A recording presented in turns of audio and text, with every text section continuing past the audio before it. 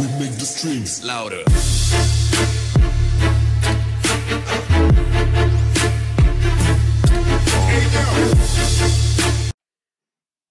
Hey Leute und willkommen zu einem neuen Video. Ich bin wieder äh, aus dem Urlaub raus.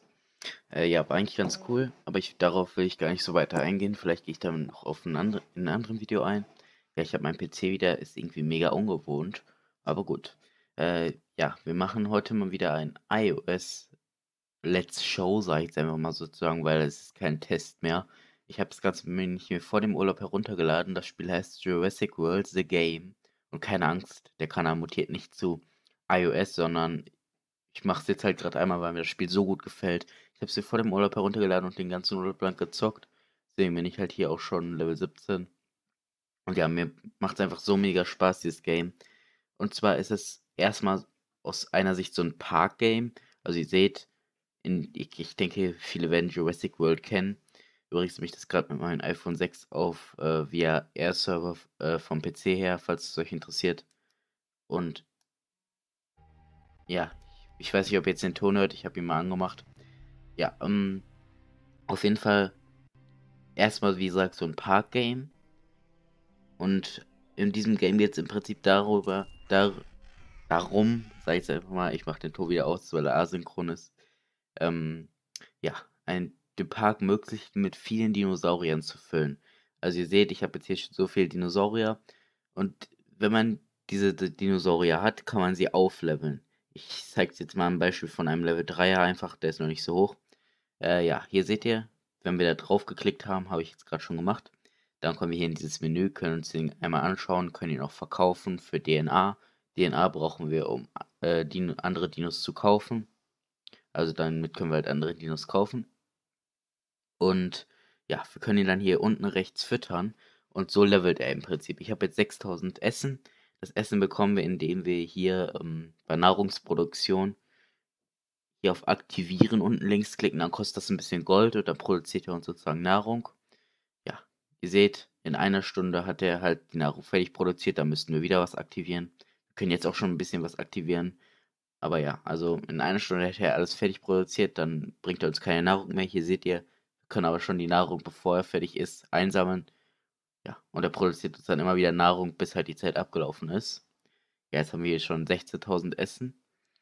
Und ich gehe mal wieder hier rein. Und wir können jetzt, wie gesagt, aufleveln. Ich drücke mal einfach mal die ganze Zeit auf Füttern. Ihr seht dann, es wird er jetzt Level 5. Ich habe ihn jetzt einfach mal zwei Level gelevelt. Ich level ihn jetzt nicht so stark, weil den habe ich nicht vor, irgendwie hoch zu pushen. Den möchte ich momentan noch nicht hochleveln. Ja, ähm, und wenn dann ein Dinosaurier Level 10 erreicht, ich weiß nicht, habe ich hier ein Beispiel. Guck mal. Ja, ich könnte den mal auf 10 machen. So. Dann äh, seht ihr unten, wir können ihn nicht mehr füttern, sondern nur noch entwickeln. Jetzt müssen wir den zweiten Dinosaurier von der Dings haben. Ihr seht, den kann ich noch nicht kaufen. Ähm, jetzt müssen wir den zweiten Dinosaurier haben. Indem wir auf Plus klicken, können wir ihn dann kaufen, aber ich habe ihn noch nicht freigeschaltet. Ähm, und den müssen wir dann auch nochmal auf Level 10 leveln. Wenn wir den auf Level 10 haben, können wir die beiden entwickeln. Und dann wird, werden die halt, wird halt eine von den beiden verbraucht und dann haben wir nur noch ein Level 11er. Ja, dann können wir ihn halt weiter auf Level 20 füttern und dann brauchen wir wieder ein Level 20, um, um ihn auf 21 zu bringen. Also klingt logisch. Wir brauchen halt, um wieder über die nächste Stufe sozusagen herauszukommen, brauchen wir immer einen, der genauso hoch ist wenn wir den, ihn dann, Level 40 ist das Maximum-Level, wenn wir ihn dann auf Level 40 bringen wollen, brauchen wir zwei Level 30er, dann wird er halt Level 31 und müssen ihn dann auf 40 füttern. Ich denke, ihr werdet das vielleicht für, hoffentlich versteht, verstanden haben. Also ihr bräucht jetzt hier, um ihn auf Level 11 zu kriegen, einen von der gleichen Art, müssten ihn auf Level 10 leveln. Und dann, ja, dann können wir die halt entwickeln.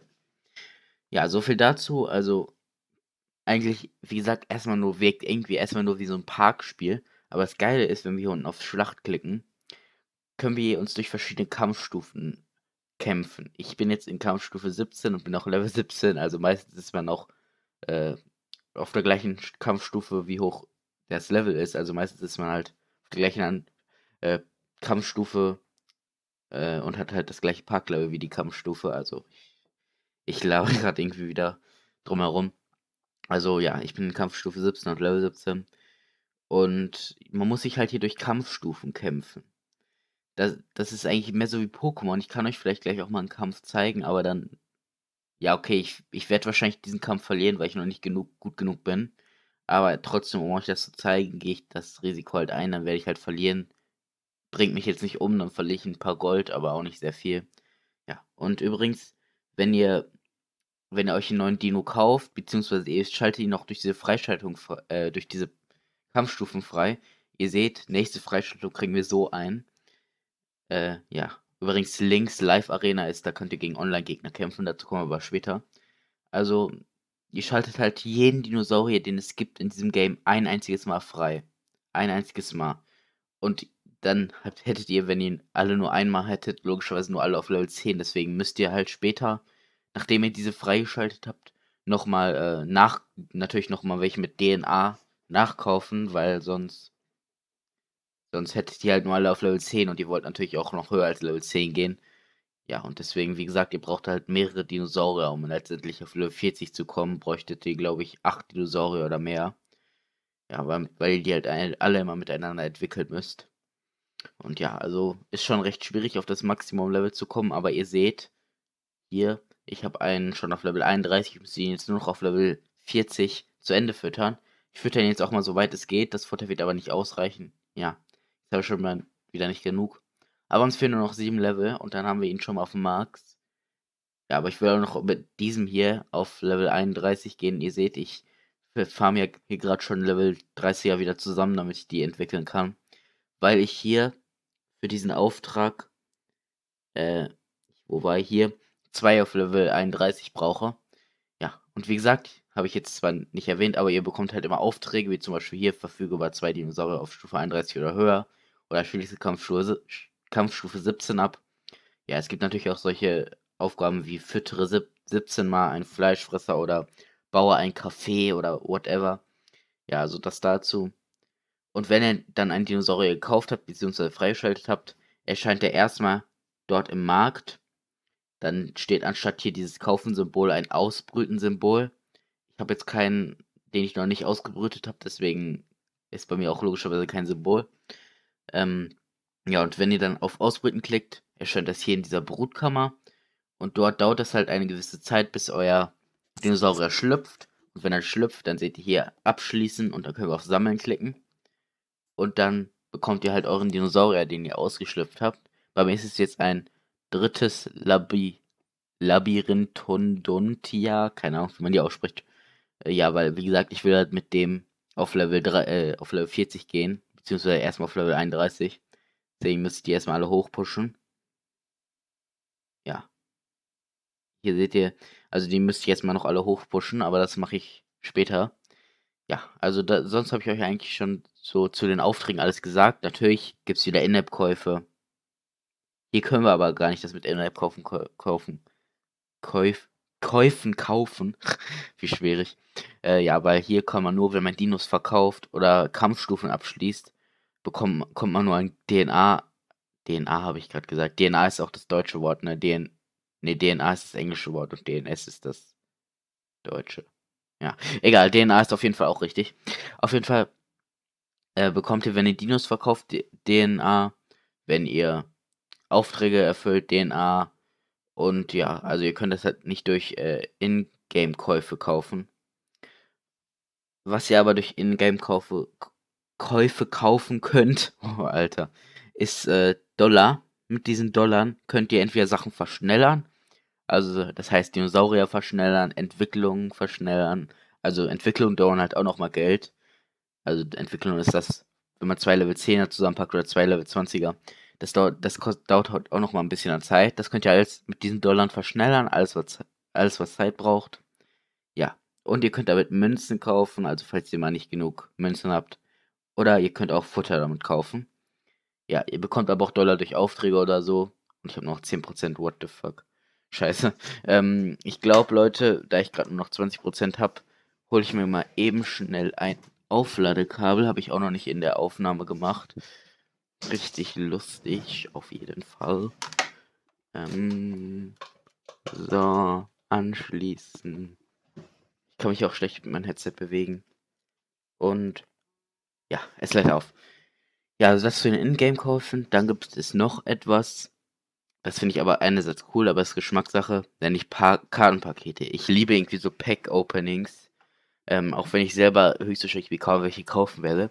Und zwar gibt es hier ein Gratis-Paket Wundertüte, dort sind meistens Münzen, spezielle Missionen, auch DNA sogar drin, also DNA könnt ihr halt auch durch dieses Paket bekommen. Essen oder irgendwie sowas drin, manchmal auch ein Dino, aber dann meistens ein gewöhnlicher Dino. Ja, und da gibt es halt noch diese Packs gewöhnlich, sehr selten, extrem selten und legendär. Nämlich gibt es halt Dino-Stufen. Ja, die schlechteste, sag ich jetzt einfach mal, und die nicht sehr seltene ist halt gewöhnlich. Danach kommt sehr selten, danach extrem selten und danach legendär. Und dementsprechend sind die Dinos halt auch stark. Das heißt, auf Level 1 hat ein gewöhnlicher Dino vielleicht 40 Leben, während ein legendärer, keine Ahnung, 500 schon auf Level, äh, Level 1 hat. Deswegen, also das ist halt die sind halt dann dementsprechend auch ein wenig stärker. Ja. Das heißt nicht, dass gewöhnliche Dinos generell schlecht sein müssen, aber ich denke, ihr wisst, wie ich das meine. Die könnt ihr halt entweder kaufen oder ihr bekommt ihr auch durch Events. Das heißt, manchmal gibt es Events, öfters sogar gibt es Events. Das heißt, so jede Woche oder jede zweite Woche gibt es ein Event. Dort könnt ihr halt äh, Kartenpakete gewinnen. Entweder spezielle Kartenpakete, manchmal kommen nicht spezielle, wie zum Beispiel ein Flugsaurierpaket hinzu. Manchmal kommt aber auch halt, dass ihr einfach ein sehr seltenes Paket oder ein legendäres Paket gewinnen könnt. Ja, könnt ihr entweder durch Events bekommen oder halt durch Rabattaktionen. Also manchmal ist der Preis dann halt anstatt 50 Euro 25 Euro. Oder ihr müsst die halt zum vollen Preis kaufen. Ja, also entweder kaufen oder halt durch Events.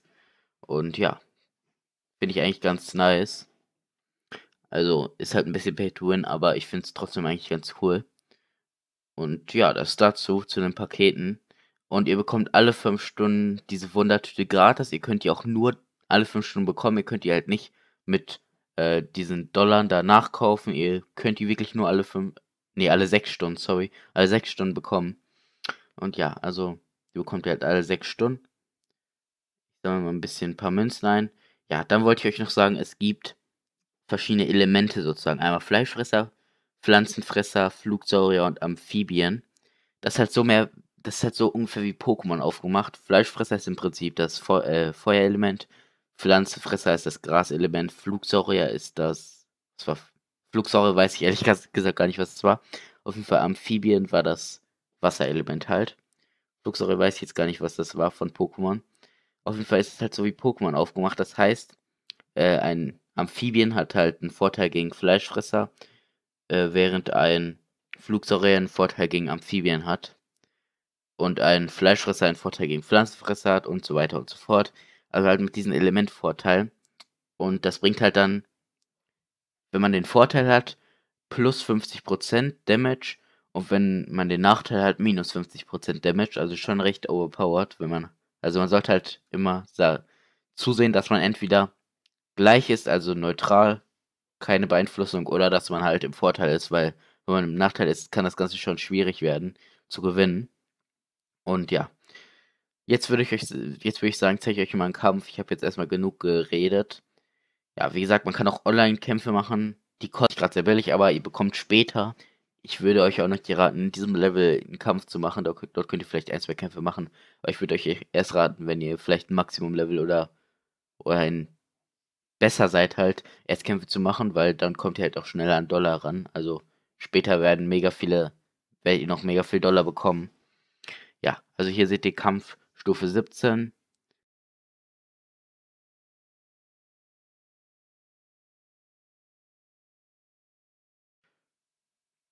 Ja, also hier seht ihr, so laufen halt die Kämpfe ab. Man hat jetzt eine Runde, man kann jetzt einen Zug machen. In der zweiten Runde kann man zwei Züge machen, in der dritten Runde drei Züge und in der vierten Runde vier Züge. Wenn man dann halt, wenn es halt so weit kommt, dass man in der fünften Runde ist, kann man halt trotzdem nur vier Züge machen. Also es geht halt nur bis zu vier Züge. Und wir können jetzt hier auswählen, entweder angreifen, dann greifen wir halt den Dino an, entweder verteidigen, dann blocken wir halt einen Angriff. Oder Bonus, das heißt, dann sparen wir uns diesen Zug, setzen dann einmal aus, kriegen dann aber in der nächsten Runde einen Zug mehr als der andere. Das werde ich jetzt einfach mal machen, um euch das zu zeigen. Ja, er macht das gleiche auch wie wir und wechselt dann direkt den Dino, ist recht schlau von ihm. Aber das machen wir auch. Ihr seht, wir kriegen jetzt drei Züge und jetzt machen wir das gleiche. Wir wechseln den Dino. So. Blocken. Nee. Na, doch, vorsichtshalber einmal blocken und einmal angreifen. Ich bin jetzt noch nicht der Beste in der Taktik. Ja, er blockt auch. Also bringt uns recht wenig. Ja, also das Spielprinzip müsste sich eigentlich von selber erklären. Ja, okay, hat uns jetzt recht wenig gebracht. Er blockt meinen Angriff, ich block seinen Angriff. Und jetzt werden wir mal einfach so gehen. Ist jetzt irgendwie ein bisschen. Ja. das, das ist echt unglaublich, wie wir uns hier. Als ob wir uns absprechen würden. Aber höchstwahrscheinlich wird er jetzt zwei Dings machen, weil er. Ja, okay. Hoffentlich sterben wir nicht daran. Oh, wir haben überlebt, nice. Okay. Ja, jetzt haben wir einen Zug. Das heißt, wir können jetzt 3, 2. Ich weiß nicht, ob das jetzt schlau war. Wir hätten. Nein, okay, wir müssten ihn killen. Ja. Nein! Er hätte noch 8 Leben. What the. Okay, jetzt killt er uns. Ja, GG. Okay. Ja, ja, das war jetzt. Das war schlecht, aber wir werden höchstwahrscheinlich eh verlieren. Ich wollte euch halt einfach mal das Kampfsystem zeigen. Ja, wir blocken jetzt einmal und zwei müssten eigentlich reichen, wenn er jetzt nicht blockt. Ja, reichen, um ihn zu killen. Jetzt wechselt er auf seinen Flugsaurier. Da sind wir jetzt im Vorteil. Ja, habe ich ganz vergessen zu sagen. Gras ist im Vorteil gegen Flugsaurier. Wusste ich aber auch noch nicht. Und jetzt blocken wir seinen Angriff nice. Also, wir sind jetzt im Vorteil. Das heißt, wir könnten jetzt drei. So, okay. Mal gucken, ob das was bringt. Ja, okay, eins. Müsste jetzt eigentlich nicht so viel Damage machen. Oder? Ja. Hat halt nicht so viel gemacht. Wenn er jetzt den Dino wechselt, dann. Ja, okay, scheiße. Aber das Gute ist jetzt, er greift zwar an und wird uns hoffentlich nicht allzu viel Damage machen. Bitte, lass mich überleben. Wir haben überlebt, aber das leckt gerade irgendwie nach. Fuck. Geh mal kurz auf Pause. Und. Okay, es leckt nicht mehr nach, weil es hat gerade nachgeleckt. Ja, wir haben überlebt. Und jetzt machen wir folgendes. Wir wechseln ihn einmal. Dann Bonus und zweimal blocken. Wir gehen jetzt erstmal auf De Defense. Wetten, ihr wird eh wieder wechseln, wenn er wechseln wird. Oh, so ein richtiger Abfucker einfach. So ein richtiger Abfucker. Wir werden das eh nicht gewinnen, aber ich werde es einfach mal so machen. Ja, okay. Wir hätten wir jetzt einen Vorteil, hätten wir vielleicht noch was reißen können. Aber gut. Ich weiß nicht, ob wir. Ja, okay. What the fuck? Ja, okay. Wenn wir jetzt daran sterben, ja, okay, wir haben so gut wie verloren. ah, scheiße. Egal, aber um euch das Ganze zu zeigen, war es okay. Okay, ich gehe jetzt auf Damage und kriegen wir den noch, aber den anderen werden wir nicht wegkriegen, weil wir haben jetzt noch so viel Leben, der wird jetzt auf Attack gehen und uns raushauen. Den killen wir jetzt noch, aber den anderen killen wir nicht mehr. Also macht eigentlich relativ viel Spaß, ist halt so eine Mischung. Ja, er wird auf Attack gehen, ich wusste es. Und dann haben wir verloren. Ja, okay. Ja, GG. Aber das ist halt nicht so schlimm, weil ich halt voraussehen konnte. Aber es war gar nicht mal so. Also es war halt schon recht knapp und ja, vielleicht, wenn wir jetzt noch ein bisschen unsere Dinos aufleveln. Scheiße, haben wir eine Chance. Ja.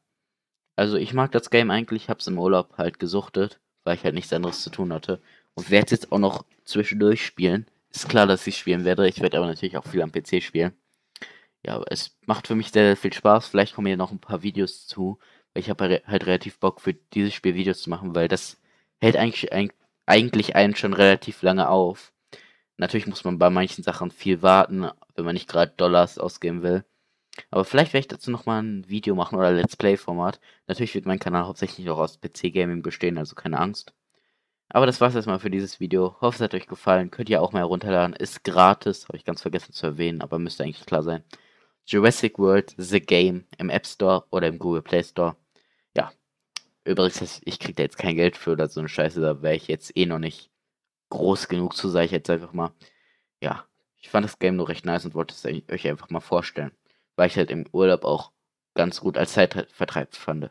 Übrigens braucht dieses Game eine Internetverbindung, aber die kann auch recht schwach sein. Also Hotel WLAN hat da gereicht für dieses Spiel. Also ich konnte das halt meistens spielen, manchmal auch nicht, aber eigentlich konnte ich nicht so gut wie immer spielen. Also Hotel-WLAN reicht auch echt aus. Leider halt nicht im Flugzeug möglich, aber na gut. Das könnte man vielleicht noch nachbessern. Ja, dann bis zum nächsten Video. Haut rein und ciao.